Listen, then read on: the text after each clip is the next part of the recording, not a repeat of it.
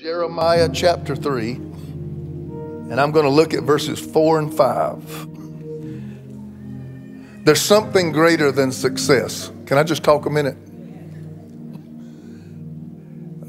I've been blessed to be all over America, and different regions value different things. Uh, the West Coast, in particular, and I would say even more so, we being the tech capital of the whole world not of this region, not of this state, but the whole world. Uh, success is valued highly here. But then even successful people find themselves empty. Because which accomplishment is going to finally be the one that satisfies? There's something greater than success. Listen to this and take it home. It's called significance. Because I believe you can amass a lot of stuff but live your life virtually insignificant. Meaning you have been able to accumulate things, but you haven't left your print on anybody's life. And for Ron Carpenter, a life well spent is when people walk away from me and in some way or another I have affected and altered their life in a positive way. To me, that's successful. It's just not stuff. I believe if you bless and alter people's life, stuff will follow. Because a lot of times the greatest success comes with the way you help people the most. Okay? You know why In and Out so successful? Because they helped me with my hunger problem. and people that find a problem and they let me tell you something. Ah, here I go. Always listen to people's complaints because people's complaints are an opportunity. Whenever people in the church complain, I know there's an opportunity for ministry because complaints arrive out of a deficit. And the people that have been significant in life is they hear the cry of the deficit of the people and they formulate a way to meet that need. So don't run from complaints, listen to complaints because they'll show you what's missing. And when you can be the missing piece, then your life is all of a sudden taking on a totally different meaning. Is this all right what I'm talking to you about here? Okay.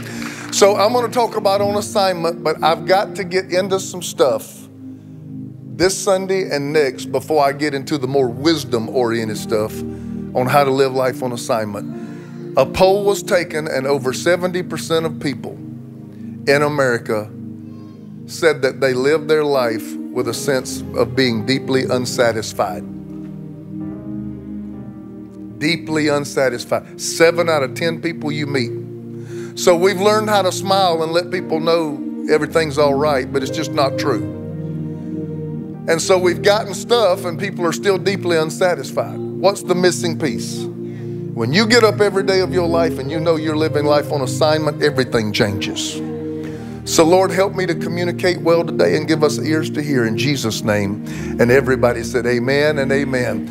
Jeremiah chapter 1, the, Lord, the word of the Lord came to me saying, Jeremiah is a prophet, Old Testament prophet. They're called major prophets and minor prophets, uh, not because one of them is more important than the other, but Isaiah, Jeremiah, and Ezekiel, these are large prophetic books.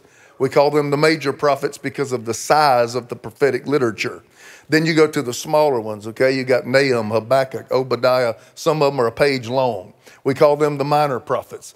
This right here is a very popular passage of scripture, but instead of just quoting it, I'm going to break it down. Somebody say, break it down. All right. Do y'all have any amens left in you? I need some talk back today. Okay. The word of the Lord came to me saying, Before I formed you in the womb, I knew you. Before you were born, I sanctified you. I ordained you, look, formed, sanctified, and ordained before I got here.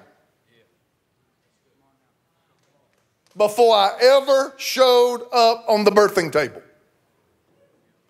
One of the greatest debates in our country is when does life begin? And all of them's wrong. Republicans and Democrats. It begins in heaven. You didn't show up here because your mom had a one night stand and didn't even like the guy, and you feel like you have no purpose. Because let me tell you something, you didn't show up and God said, Ooh, I got to get something going for this gal. She ain't got nothing going for her. Life did not begin with that. Life began in heaven. And it really don't matter how you got into the earth. It matters that you're here.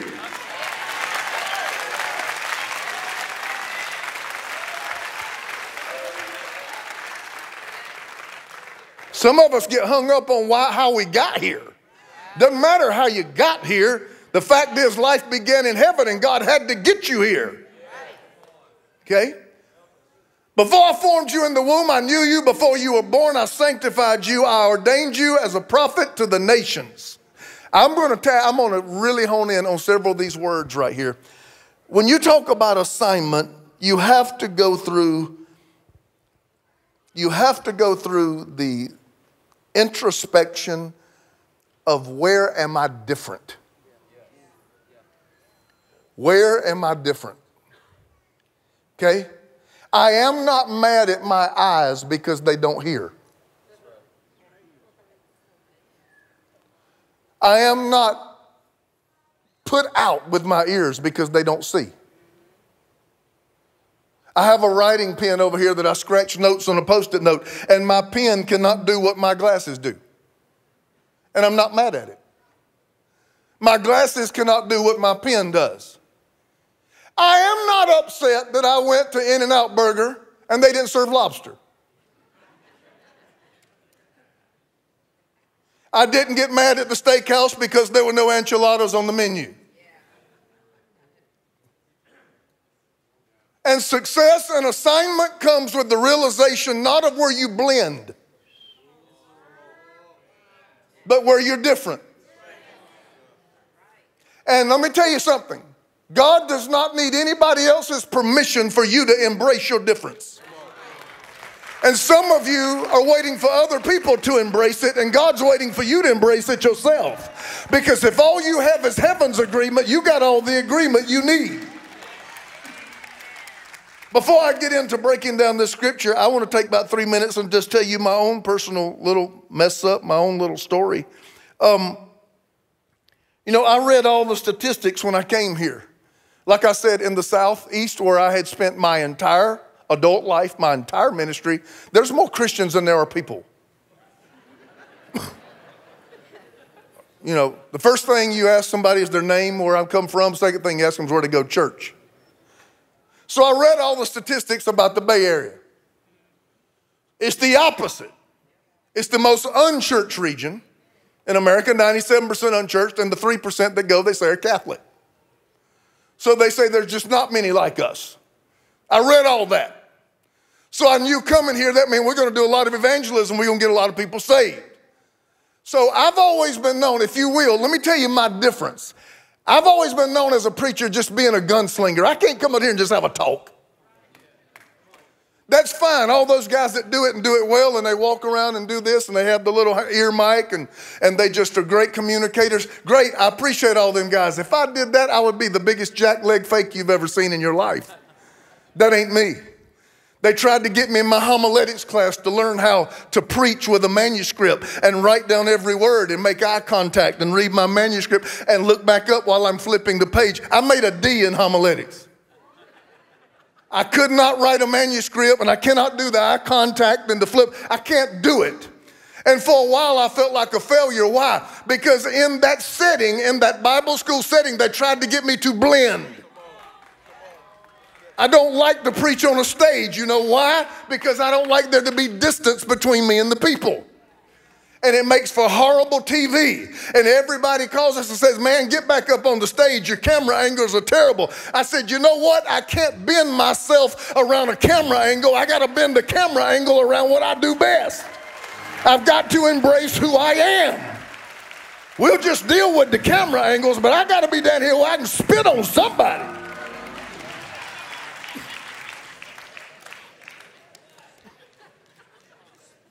And so I'll be honest with you, I've, I've been known as, man, that guy will say anything. I used to have people say, Man, I come to your church just to see you set yourself on fire and burn. You're crazy. And that's who I always was. And I embraced that. I found myself, and that's who I am. I'm passionate. I love the Word of God. I love to preach. I love people. I love church. I'm not tired. I'm not burnt out. I can't wait to get here. I got here at 6 o'clock this morning. I was waiting on you to show up. I've been praying. I've been drinking two pots of coffee, and I am wired up, and I'm believing God's going to do something great. And you got to understand, that's the way I approach what I do. Can somebody shout amen? Tell your neighbor, I don't mind if my pastor's crazy.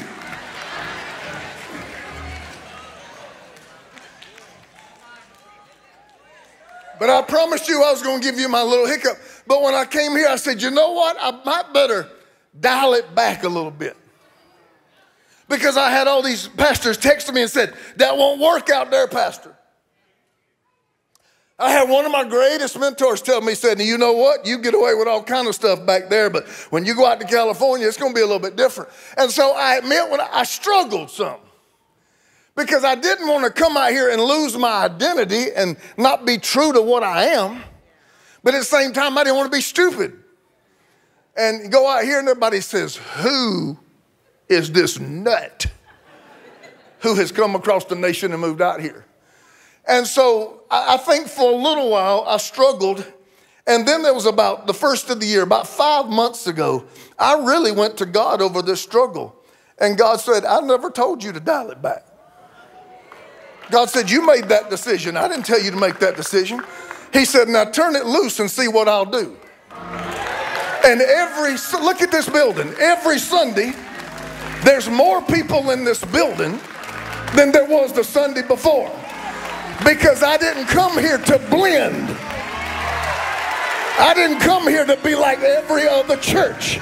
I came here to find all the other crazy, passionate Christians who want to serve God with all their heart, all their mind, all their soul, and all their strength and rally us together. Let's pray a hole through the sky and do something in this area that's never been done before. Can you embrace your difference today? I need to hear you say it. Can you embrace that you're not like everybody else? Somebody take 10 seconds and give the Lord your God praise. Hallelujah in this place.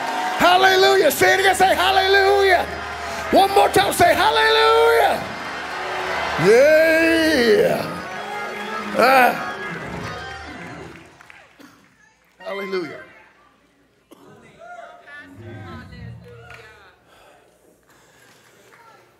Before I formed you,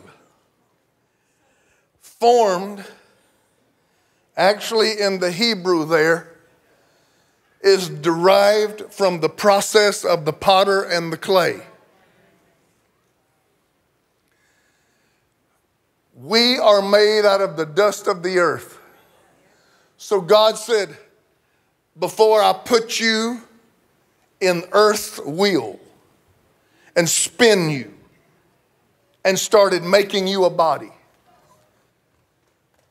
before the male and the female, came together biologically.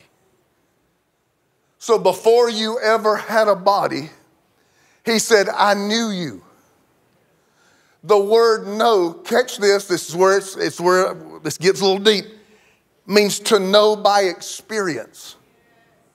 Not by, there's knowledge by knowledge, and then there's knowledge by experience. Okay? I can stand up here and hold an orange and say it's citrusy, it's sweet, it's acidic, and I can give you a knowledge of it, but until you taste it, the tasting is a whole different thing than me telling you. God said, I didn't tell you about it, I experienced it. So before I put you in the earth in a body, I already knew you by experience. Amen. That means I was here before I got here. Oh, I'm still, I just see, right? I saw about from two rows back.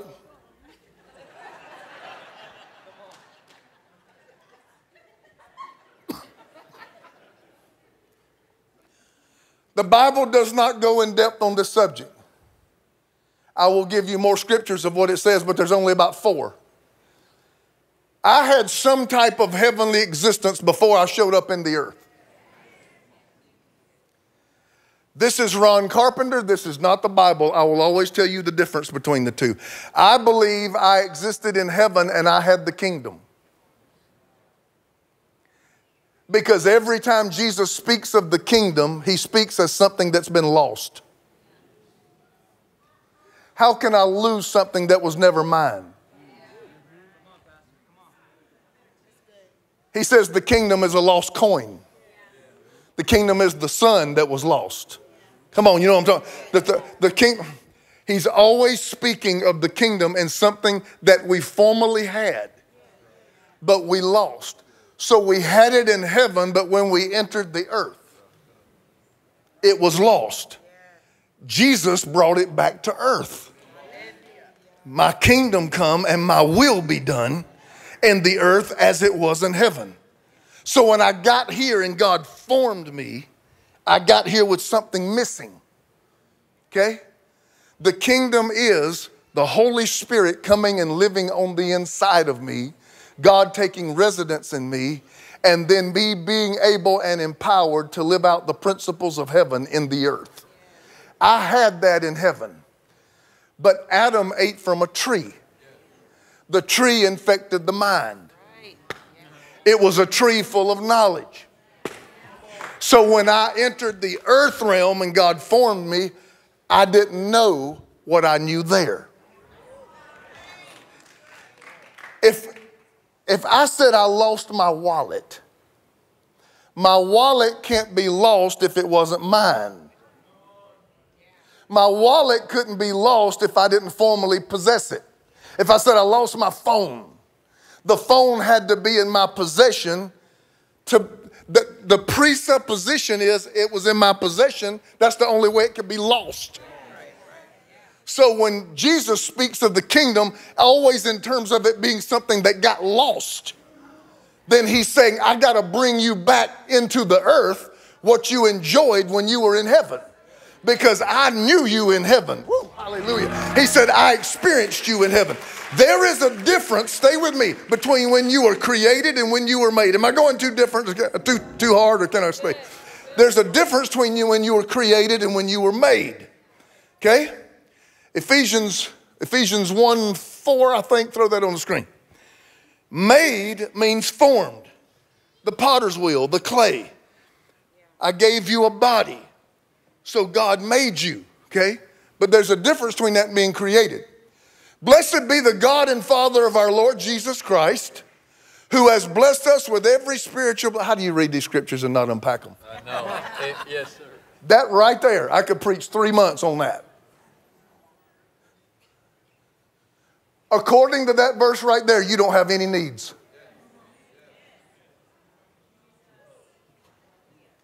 Well, Pastor, you ain't been to my house. According to that scripture, you have no needs. They're just in a different dimension. That's why Jesus went to heaven and sat down. There's nothing left to be done. Everything that you need is already yours. It's just in another realm. You are preaching, Pastor. You've been out there doing missionary work and God done jumped on you. You are preaching, Pastor. Blessed be the God and Father of our Lord Jesus Christ, who has blessed us with every spiritual blessing. Where? In heavenly places.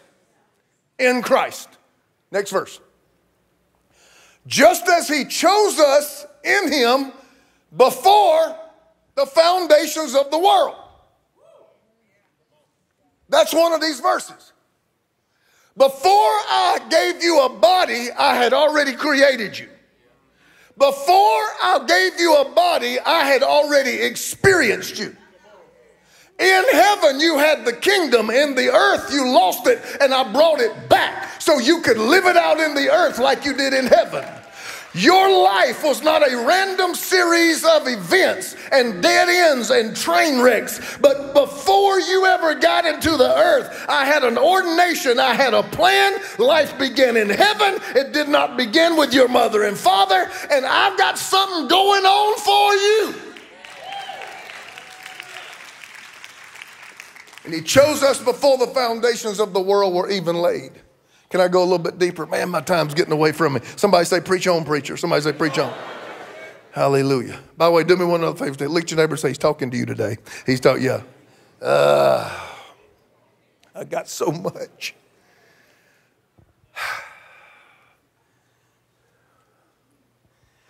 Before you were born, the word born is a weird word. It means wound. So before I put you on the potter's wheel and made you a body of clay, I had already experienced you.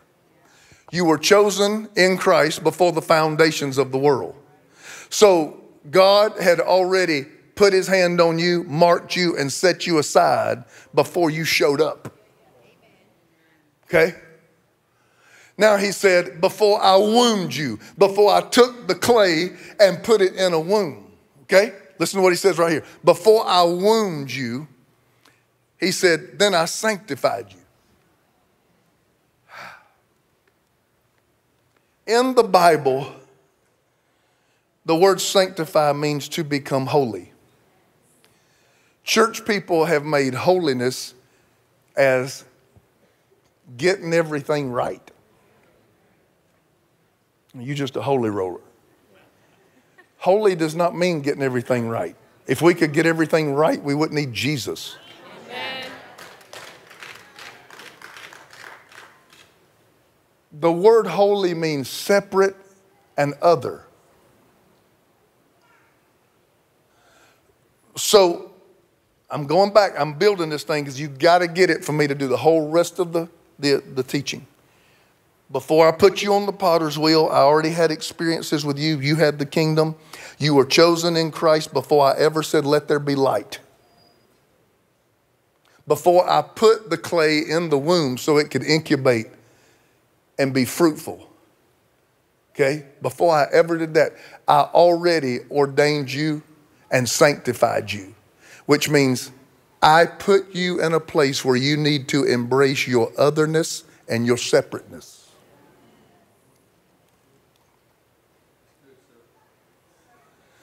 That is hard to do because most people can't pay the price of being other.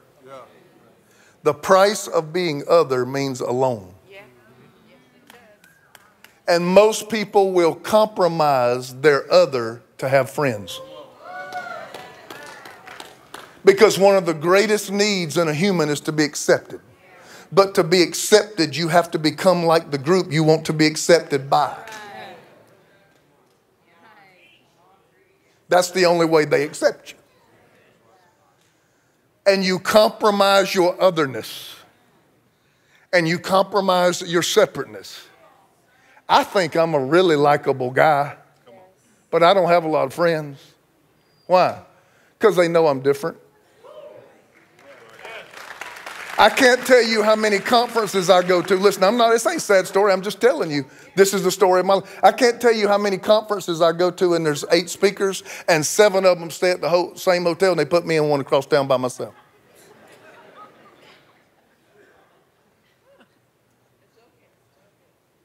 Because they know. So you know what? It used to hurt my feelings. Now I say it's a compliment because they recognize I'm not like the other seven guys. I'm different than the other seven guys. If he comes, something different is going to happen than the other seven guys. So I have learned in time, I didn't say I learned it early, but I've learned in time to embrace that. But sometimes that is the trade off.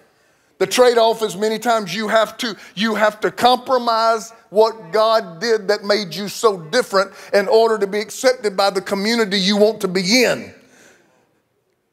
But God said, Ye are the salt of the earth. And He said, The salt that loses its saltiness is only good for the dung heap. Do I need to tell you what dung is? That's what Jesus said. That's written in red. He, God said, if I put you in the Silicon Valley and I sprinkle you, and you're not different enough from it to affect it, you are no good to me. He said, if you go there and become it, He said, I didn't reach over here and bring you here for you to become it. I reached over here because I want you to be different from all of it and raise up a people that have been screaming and praying for something different from years. And God said, when you embrace what I've called you to embrace, others are going to hear the call to come up and be a church that says, we don't really care what everybody else thinks about us. We're going to praise like crazy. We're going to worship like crazy. We're going to give like crazy. Going to serve like crazy. We love our God and we love God's people people. Somebody shout hallelujah. Jesus, I've left about three quarters of this on the plate. I've ordained you. I don't know if I got time to open that. Ephesians 2:10, I'll quit on this one. For we are his workmanship, born in the earth, but created in Christ Jesus. Difference between when you were made and when you were created. Created in Christ Jesus for what? For good works. I'm going to get to that later. That's the assignment part. Which God prepared beforehand when did he prepare the good works? Before you got here. That you should walk in them. We think that we pray to get God to move. And when I hear that terminology, I want to pull what thin hair I have in my head out. I think I shared this here. I don't know where I've shared all my stories before. I was invited one time to a prophetic conference to speak. There were like 12 prophets. My, my dominant gift is not prophet. I don't know why I was invited. Here again, they stay at one hotel and I'm across town over here. I don't know why I was there. But I was invited to this prophetic conference to speak. And those guys got up one session after another that day. And if I heard this one time, I heard it 1,500 times that day. God is about to. God is about to. God is about to. God is going to. God is getting ready to. God is this, God's moving that, and God's shifting this, and God. And I heard that thing all day. So it came, my, I was the night speaker. I got my mic that night, and I said, First of all, God's not about to do anything. By the way, I didn't get invited back. I said, He's finished.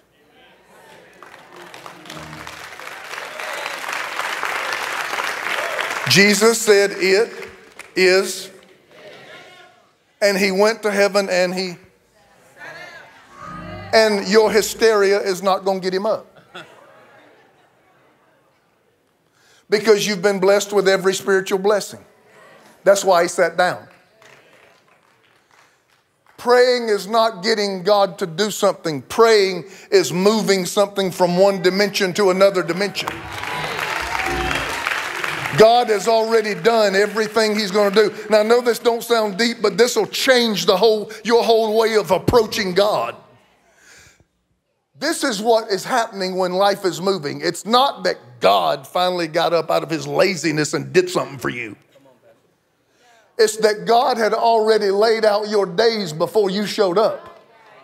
So you might be about to move into your next day you might be about to move into the next anointing He has. You might be about to awaken gifts that He's already put in you that have never been awakened. You might be about to open a door that God's had sitting there for 30 years, but you've never opened it. You might be going into a next season, but the season was there before you got there. Come on, somebody. By the time the stars got there, everything was already in the heavens to support them. Before the vegetation came out of the ground, everything was there there to support it. Before the cattle was there, there was vegetation to support the cattle. And by the time you got here, everything was here waiting on you when you got here. There's nothing that God needs to do for you to fulfill purpose and assignment in the earth. It's been waiting on you the whole time. All you got to do is walk in it. I wish somebody take a step. It's waiting on me. God prepared my days. God prepared my steps. And I'm stepping out of the last and stepping into the next. God, I don't need you to move you. I need you to move me. Hallelujah. Somebody clap and give God praise.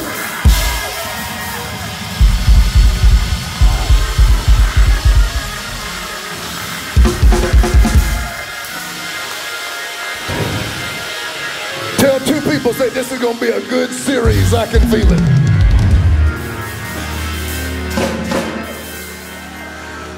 So, Morgan, we've got them coming down from the sides. I want all of our children, children being anybody that's non teenage, to come down. If your children are smaller and you want to be a parent that is with them, that is fine. And if you are a te- teacher or principal, or administrator in a school system, please come down. And Hope and I are going to lay hands on you. Then we're going to dismiss them in the center aisle. And the teenagers are going to come down. And then somebody wants your parking space real bad.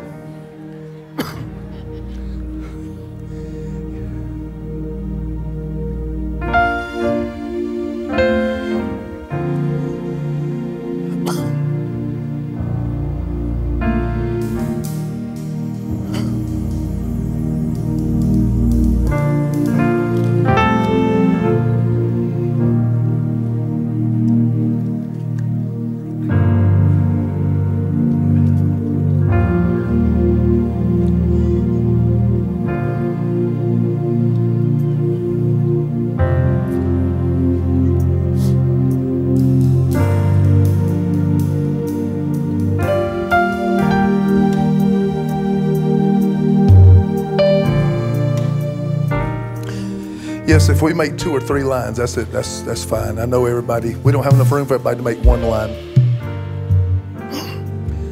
The praise team is going to come out and just lead in some worship. Hope and I are going to go down the aisle. Listen, we're just we're just laying on of hands. We're not spending time praying. All we get, we lay, all we have to do, according to the Bible, is the laying on of hands. We're going to touch them and believe all four of these things are going to happen. Hey, sweetheart. All four of these things are going to happen. See a few more that are coming forward. Let's get down on this side and move our way from right to left. Andrew, Lizzie, take it on. Come on, let's lead them in some worship.